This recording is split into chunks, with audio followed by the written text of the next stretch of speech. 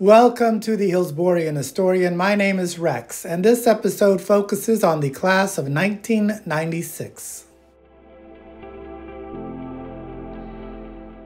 At this time, the Jefferson High School Alumni Association was trying to save the building that originally housed their high school. This building was also once the home to Hillsborough High School. The future of this building was extremely unclear at this time.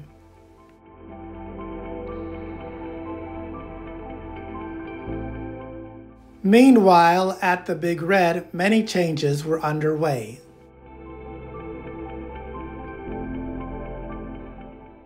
Coleman Bell became the first African American principal in HHS history.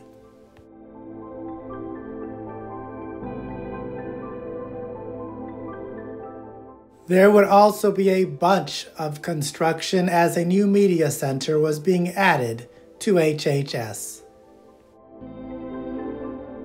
Since the new media center would be placed on the old student parking lot, these students gained a parking lot located on Osborne Avenue. The construction would be just one of many things these students would have to contend with this school year, but they were intent on having a great year.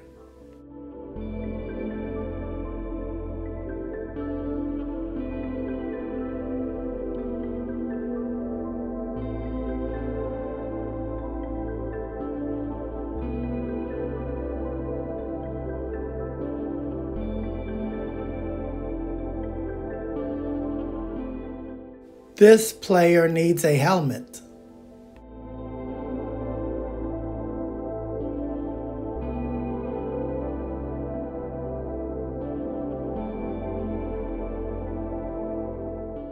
Here is the Terrier mascot.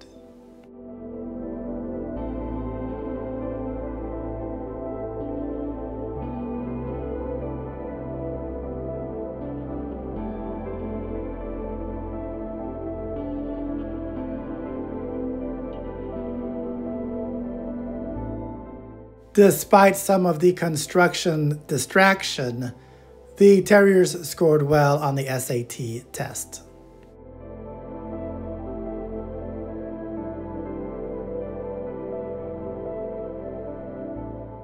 Sadly, on February 5th, which was the coldest day of the school year, students and faculty arrived to find locks on the school glued shut. Due to the vandalism, many classes were held in the auditorium.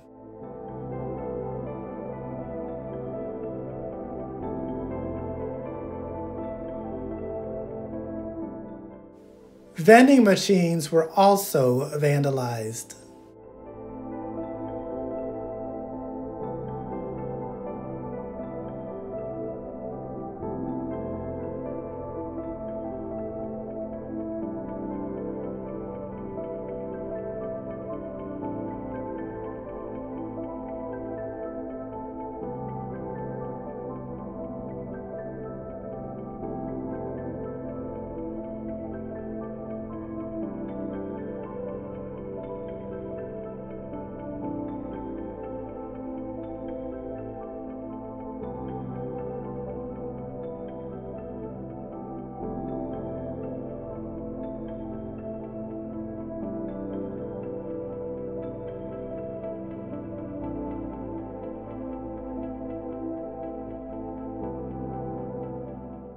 Some students pointed out that while they were dealing with this construction, they won't really get the benefit of it as they will be graduating.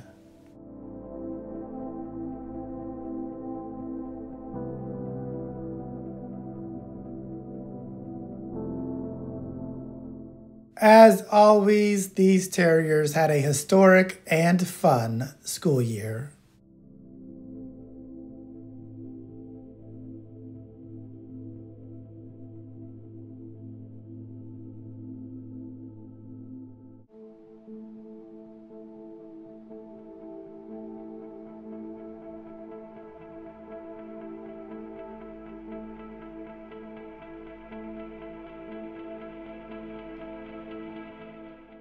Graduation was held at the State Fairgrounds Expo Hall.